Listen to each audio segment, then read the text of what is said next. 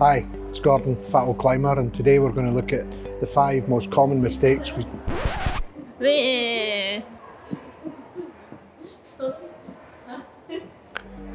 Hi, it's Gordon, Fat Old Climber, and today we're going to look at the top five mistakes we see new climbers making and what to do about them. And a little bonus one at the end, so stick around. Let's do this.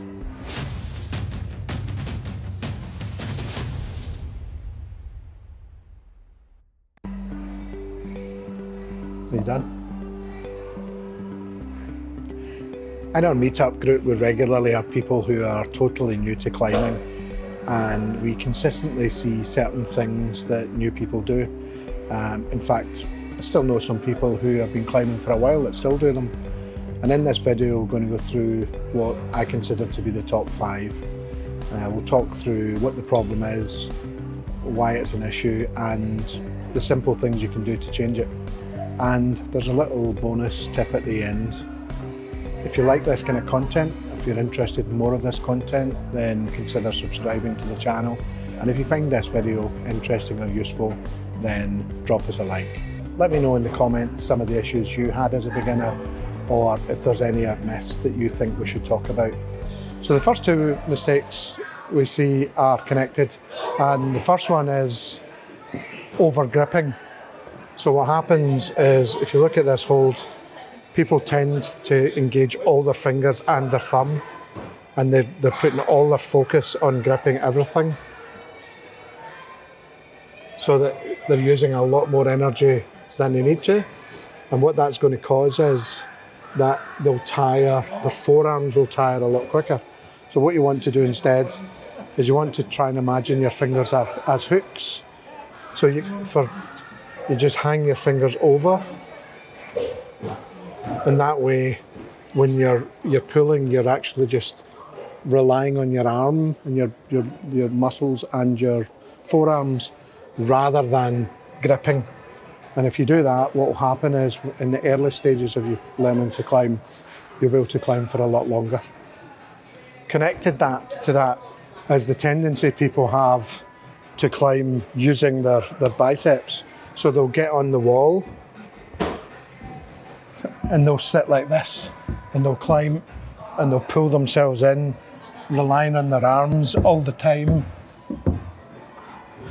And what happens is if you're pulling on your weight, your, your, your biceps, which may be strong, your biceps are nowhere near as strong as the muscles, the, the, the skeleton in your, your arm and your back muscles.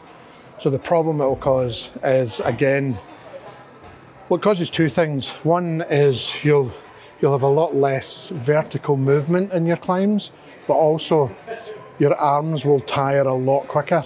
So if you're doing that and over gripping, your arms will be exhausted a lot quicker. So what you want to try and do is develop a habit of climbing with straight arms and hanging in your arms so that what you're actually doing is moving up using your back and the bones of your forearm, the bones of your arm. And when you move, you're moving your back muscles.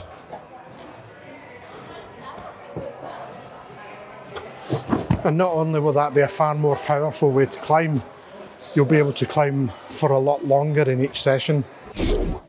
What's going on here? Well, this is for an up and coming video. Subscribe if you want to find out.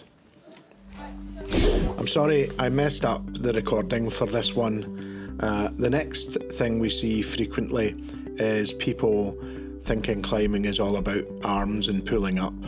And you can see Mark here focused entirely on grabbing a hold and pulling himself up with his arms, and his legs are an afterthought. Whereas if you watch what he's doing here, he's first looking where he's putting his feet, and then he's placing his legs and standing up, moving his arms, standing up, moving his arms. So, far better to be using your legs to stand up rather than your arms to pull yourself up. Another problem we find is when people put the wrong foot up before they climb. Right, go. So it's a snatchy uncontrolled move. Whereas if she uses same if she uses same foot, same hand, remember your right hand was up and puts her left foot up, she can go up a lot more controlled. Another problem we find quite often is people not looking at the route before they get on it. So they identify the start holds, get on, and then try and figure out where to go from next. And that can cause a disastrous climb sometimes. So Megan's going to climb this orange. So what we're looking at is her focus, which is getting on. And then what she's going to do is trying to figure out where to go next. And you can see she's re just realised that next is way over here. And she realises there's no way she's going to do it. Climb. We can see the start is here. But when you pan out, you can see there's nothing up. So, so Megan has to realise that the next hold is over here. And then the next hold is over here, which means what she has to do is figure out how she's going to get her weight round the corner and up. Okay, on you go. So she knows there's a move over. And then she can use the volume to bring her weight up. Perfect. No, I can't finish it if you like. And she knew there was some walking up the wall. Very nice. Fist bump at the end. As a bonus, um, footwork in general is a problem and not focusing enough on your footwork is a big problem we find in beginners. Um, it's a big enough subject that it will be a video on its own, but one piece of advice we would give is being careful about where you put, being careful about where you put your feet. Because what you find is people just slap their foot on the hold, putting as much on it as they can, and then move up. And one of the problems that causes, other than it not being very stable, is if they want to rotate their foot, you just slip off. A far better thing to do is focus on standing, putting your toe on the hold. Then what happens when your toe's on the hold, you have a lot more flexibility of what you can do with your foot. This part of your foot, this part of your shoe, is the part is that's, that's designed to put the most pressure through. So that's it. Five of the most common mistakes we see beginners making plus a bonus one on footwork. If you found this information useful or interesting, then and you're not already subscribed, then consider subscribing. Uh, if you liked it, then drop us a like. Um, thanks for watching, and we'll see you next one. That's a wrap. That's a wrap.